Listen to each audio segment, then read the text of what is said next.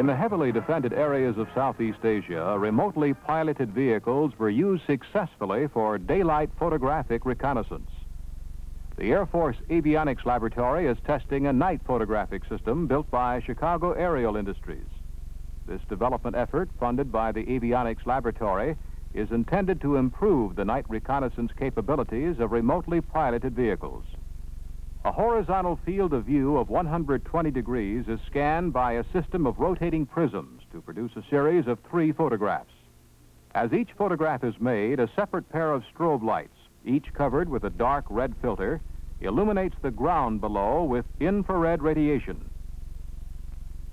The reflected light then passes through the camera optics and enters an image intensifier tube.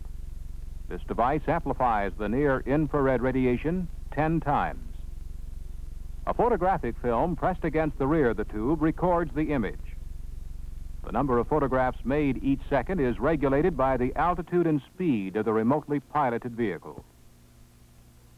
The system was delivered for testing in an RF-4C centerline pod. This permitted controlled testing at altitudes and speeds normally flown by remotely piloted vehicles. Samples taken from several missions reveal that photographs taken at night with infrared illumination were of comparable quality to reconnaissance photographs taken in daylight. After preliminary evaluation, the photographic system will be installed in a remotely piloted vehicle for further operational testing.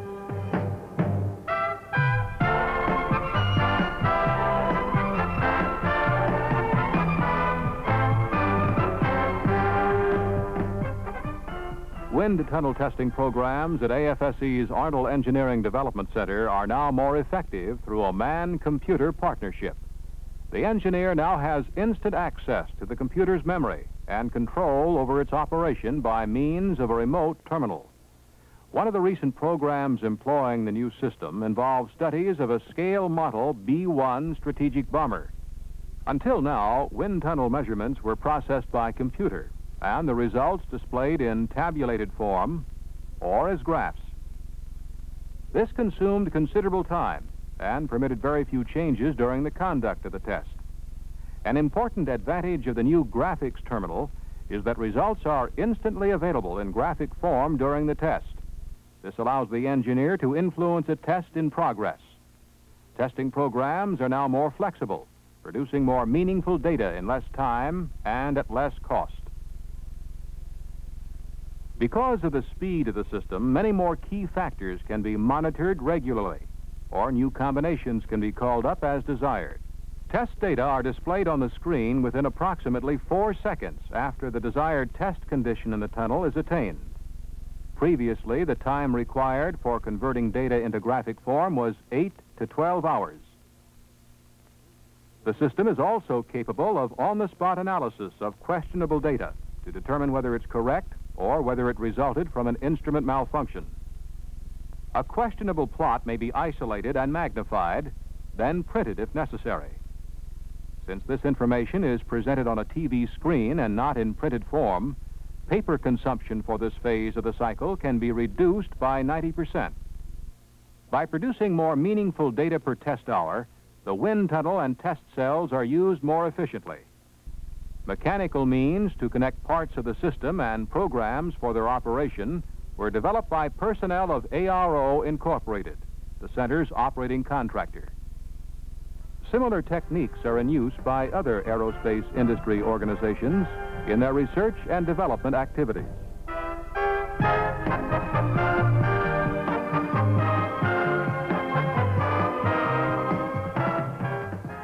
Electronic intelligence collection systems receive and process microwave radio signals. The equipment involved is large, and this requires large airframes. Aircraft such as the B-1 strategic bomber can expect a high-threat electronic environment. As this environment increases in complexity and sophistication, there must be a like increase in our ability to cope with it. At the same time, the size and weight of equipment must be decreased and its accuracy and flexibility increased. Advanced concepts in integrated circuit technology make it possible to reduce the size of microwave equipment.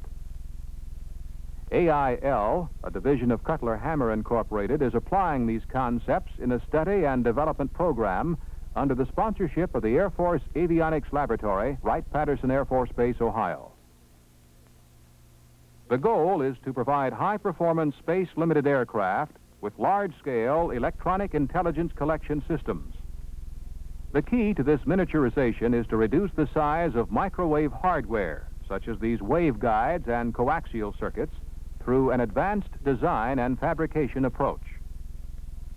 The advanced concepts involve combining solid-state circuit elements with thin-film conductors on a high dielectric ceramic substrate. The substrate wafer is 25 thousandths of an inch thick. Conductive material, usually copper, is deposited on both sides. Photographic and etching processes establish the conductor geometry of the circuit elements which form microwave transmission lines. The impedance and transmission characteristics are a function of the geometry and spacing of the conductive elements and their dielectric properties, unlike conventional integrated circuits. After etching, the circuit components are mounted. Chip diodes, chip capacitors, resistors, and transistors. With the substrate assembled in its housing, gold ribbon is welded to the components and conductors. These modular component wafers serve as building blocks in highly sophisticated equipment units. The advantages are small size, lightweight, low power consumption, improved resistance to shock and vibration, and high reliability. Computer control radio frequency testing is one of the quality assurances, and it contributes to the low cost of the microwave integrated circuit elements. The final objective of the study and development program is a prototype model of a threat detection and analysis receiver system. A laboratory model was assembled to validate the advanced concepts and to verify its performance. The production model of this receiver could occupy one-tenth of a cubic foot.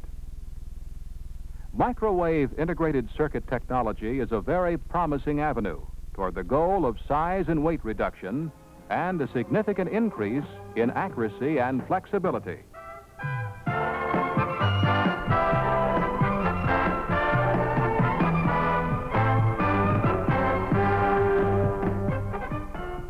The increased size and speed of modern high-performance aircraft require improved radar housings or radomes.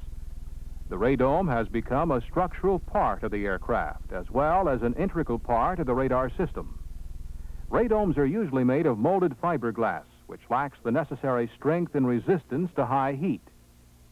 Air Force-sponsored programs reveal that materials such as quartz fabric impregnated with polyimide resin offer the desired strength and resistance to high heat. In addition, these materials are less vulnerable to damage from dust, rain, hail, and other environmental factors. The Brunswick Corporation, under the sponsorship of the Air Force Materials Laboratory, Wright-Patterson Air Force Base, Ohio, engaged in a program to establish new or improved manufacturing processes for radome fabrication. The process begins with an inner skin of four layers of quartz fabric applied to the radome form. Nylon filament is wound over this laminate, and it's cured in the autoclave. Between the inner skin and the outer skin is a core made of polyimide foam. The foam is a blend of polyimide resin, aluminum powder, hollow glass microspheres, and chopped glass fibers for reinforcement. The mix is formed into contour matching tiles on epoxy glass forms and cured in a two-step process. The tooling is simple and the process minimizes distortion. Use of the foam tiles produces a radome nearly 45% lighter than solid wall radomes. After cooling, the tiles are checked against the mold. The tiles are assembled on the inner skin and the seams grouted with foam. The outer skin is applied in the same way as the inner skin, and the final assembly is sprayed with a coating to reduce rain erosion. This process offers the advantages of low cost and simple tooling. These aircraft radomes are strong, lightweight, resistant to high heat, less vulnerable to environmental damage, and most important, they form an electromagnetic window, transparent to radar signal transmission and reception. Air Force flight tests verify that these high temperature reinforced plastic radomes meet all objectives and requirements. As an outgrowth of this program, Northrop Corporation is purchasing 60 radomes made by this process for operational use on the F-5E and F-5F international fighter aircraft.